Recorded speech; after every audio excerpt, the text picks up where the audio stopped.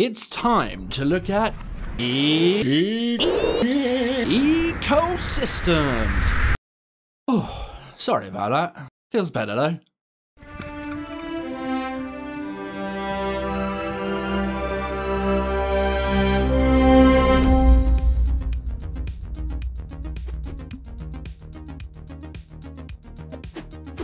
An ecosystem is defined as a biological community of interacting organisms and their physical environment. That's a bit of a mouthful though, so let's keep this simple. Biological means living creatures.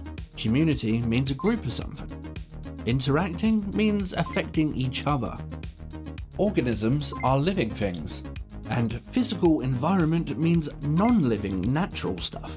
So, if you simplify all this down, you could actually define it as a group of living creatures and the non-living things around them affecting each other.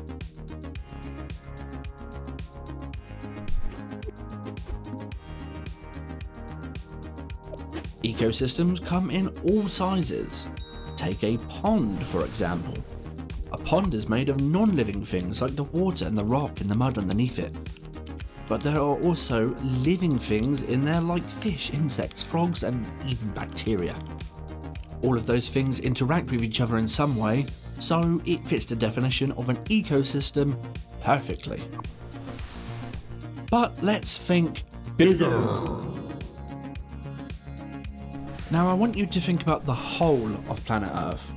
In some way, all the living and non living things on the planet link together and affect each other in some way. So you could argue that the entire planet is just one big ecosystem because it still fits that definition. Perhaps most important of all are the global ecosystems.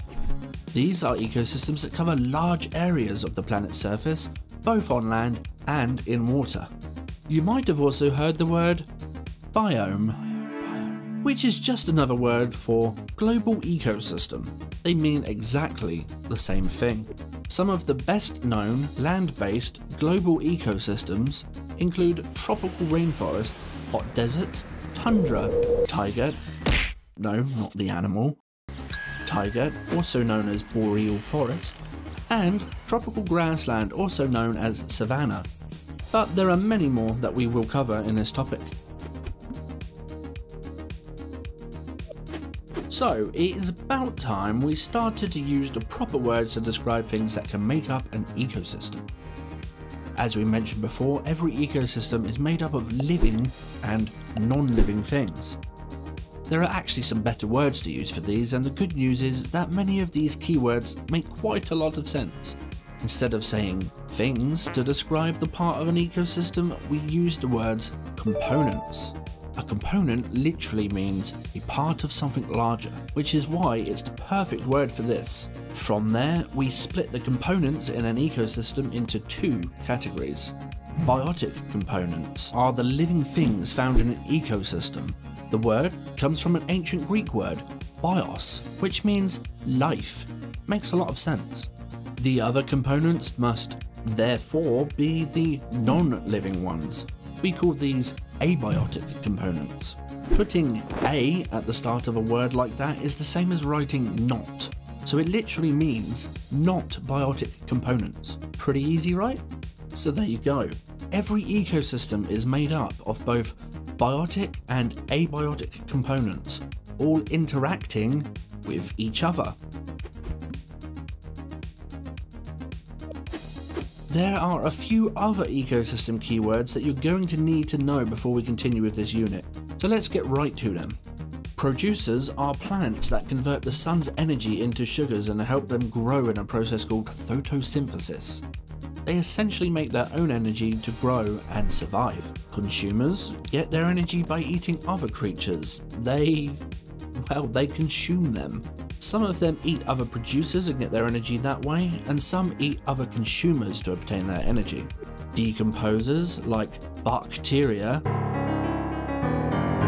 and fungi break down dead plants and animals and return their nutrients to the soil, getting energy in the process. They might not be glamorous, but they are a hugely important part of any ecosystem. Detritus is all the stuff being broken down by the decomposers. Dead animals, leaves on a forest floor. It's all known by that name, detritus. A food chain is a basic line that shows you a bit of what eats what in an ecosystem. For example, in a pond, small plants and algae, which get their energy from the sun, are eaten by mayflies.